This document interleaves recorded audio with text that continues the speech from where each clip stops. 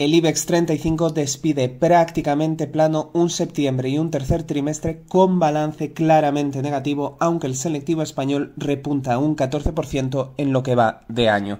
Este viernes se ha conocido que el dato adelantado de inflación de la eurozona de septiembre se modera y además lo hace por encima de lo previsto. Para la tasa general se esperaba una caída al 4,5% y se ha moderado al 4,3%. Para la subyacente se preveía un descenso hasta el 4 4,8 y ha caído al 4,5, casi 8 décimas más. Antes del IPC de la eurozona, hoy se han publicado los de Francia e Italia. Esto después de que ayer se conociera que la inflación de España subió al 3,5% y la de Alemania bajase al 4,5%. Según los expertos, estas lecturas podrían dar alas al Banco Central Europeo para volver a subir los tipos de interés.